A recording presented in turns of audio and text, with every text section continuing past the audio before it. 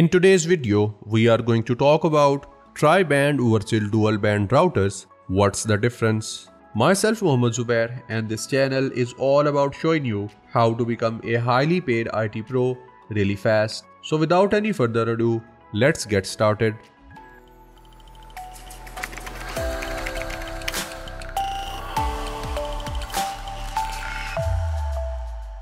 Well, as we know that there are different categories of routers that you can come across when you check out the routers to purchase. And the best selling routers are dual bands and tri bands. And if you are buying it for the first time, the choice can be very difficult to make without knowing the main differences and the features they both have to offer. So we'll talk about the features, pros and cons and the difference between both of these routers. First of all, I'll talk about tri-band.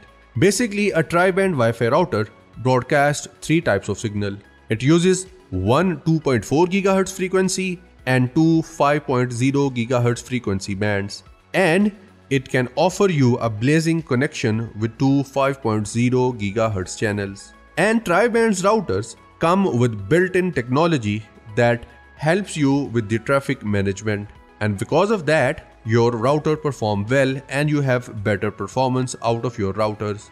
And that is why you have better internet speed. And tri-band routers serve ideal for those people who are looking for multiple connections without the performance loss. So it is particularly useful when you have devices that are situated at a longer distance and they demand faster speed and it is mostly suitable for the large homes and small offices. Now I'll talk about some of the pros of tri-band router.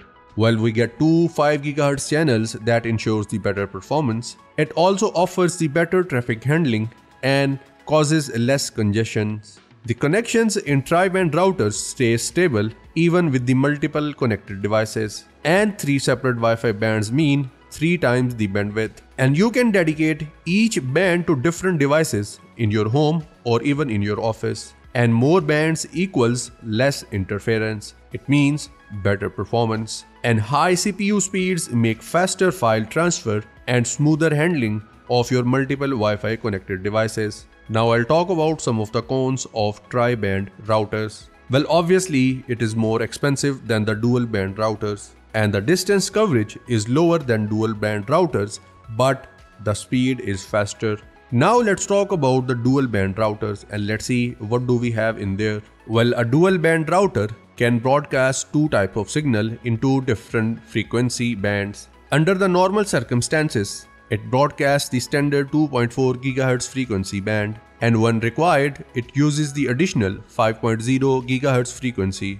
And when it uses the 2.4 GHz frequency band, it is suitable for connecting devices that are at longer distance and the 5.0 GHz frequency band is suitable when we need faster speed. So a dual band router is suitable for home where the distance of the devices from the router is not far and the speed requirement is optimal. Now let's talk about some of the pros and cons of dual band routers. In terms of pros, while dual band routers supports the new and old devices equally and we get stable connection and stable signal with dual band routers. And in terms of its cost, they are much cheaper than tri-band routers. In terms of its cons, well speed decreases when we connect multiple devices with it and it is not considered suitable for those devices and activities that consumes heavy internet. So that was a brief introduction about dual band and tri-band routers along with their pros and cons. Now I'll talk about some of the features that are common in both type of routers and let's see what the difference. Well in terms of bands,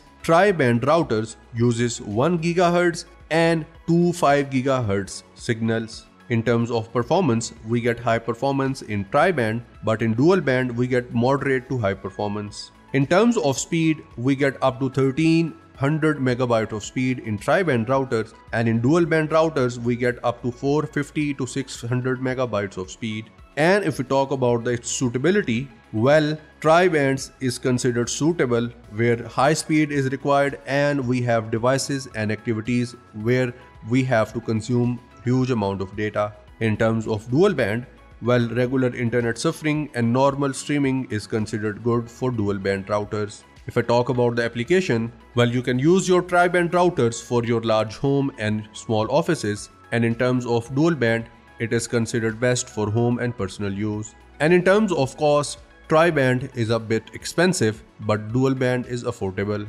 Now the question comes into mind and that is will tri-band routers boost your internet as they are considered good for high speed internet?